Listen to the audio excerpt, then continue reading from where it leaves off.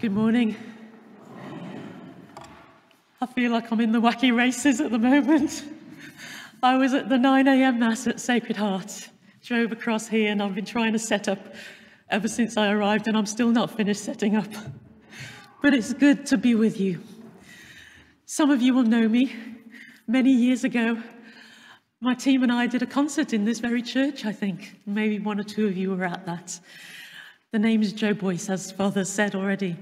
And um, I want to just share with you a little bit about how today's scripture resonates with me, a verse in particular, in fact, from our second reading.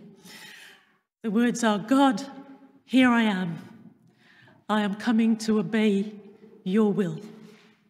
Familiar text that echoes through many of our readings, especially on our Marian feast days. When I was about 12 or 13, I joined my parish youth choir. Our priest, our parish priest, Father Christopher, had suggested to those of us who were about to embark on the confirmation program that it would be good to become more actively involved in something in the parish, to pick one of the ministries. There were lots to choose from Legion of Mary, St. Vincent de Paul, youth group, uh, there was all sorts. I decided I fancied the look of the youth choir that sang at the morning mass. And when I mentioned this to my mum, she looked at me curiously and said, Can you sing? I was about 12 or 13, and there was no evidence yet that I could sing or do anything at all musical. And it turned out, having joined the choir, that I couldn't. Couldn't sing. I mean, I was kind of in tune, but I didn't have a very powerful voice, and it would crack and croak very inconveniently at the worst possible time. And I was the kind of choir member that you'd position strategically as far away from the microphones as possible. You know the sort. I didn't know then that saying yes to that, to that strange nudge, that little call to that ministry of music and song would become my life's mission and ministry. It's amazing what God can do with a simple yes.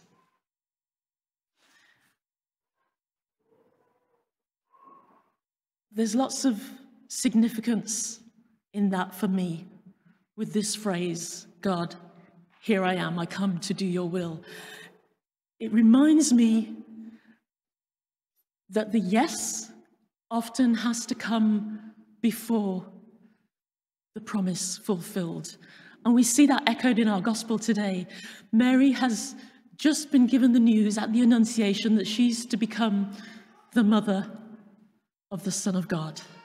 I don't know about you, but if I just had that news, what I would want to do is lie down for a long time in a darkened room and gather my thoughts. But Mary sets out, as we hear in the gospel, as quickly as possible to visit Elizabeth, to share her joy. And I think Elizabeth hits the nail on the head when she says to Mary, Blessed is she who believed that the promise made to her would be fulfilled, who believed that God's promise would be fulfilled. Mary surrendered everything because she believed. And I think sometimes we're afraid to surrender because we don't always believe the promise.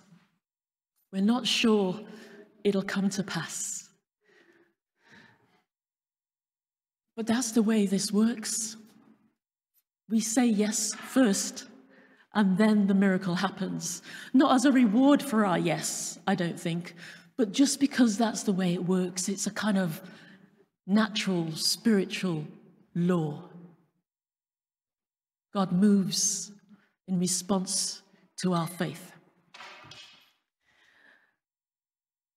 And there are many things that we can say yes to in the life of the church. There are many calls on all of our lives. Obviously, I have a bias towards the call to music ministry because I've come to believe that the ministry of music and song is a powerful catalyst in the life of the church, in our life and journey of faith and in our act of worship together. God uses it to soften hearts so that he can sow his seed that can grow and bear fruit in our lives.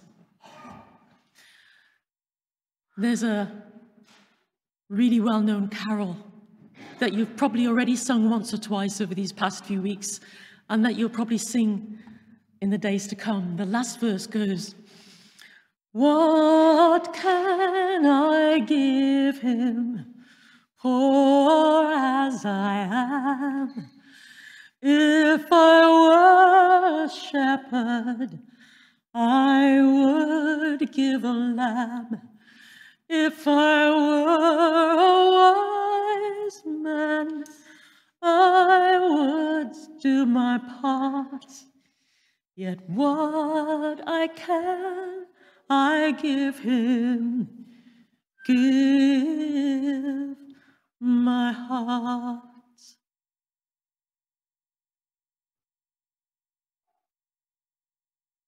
In these days of giving and receiving gifts, the Lord will invite us once more to give, to give our yes, to echo the words, God, here I am.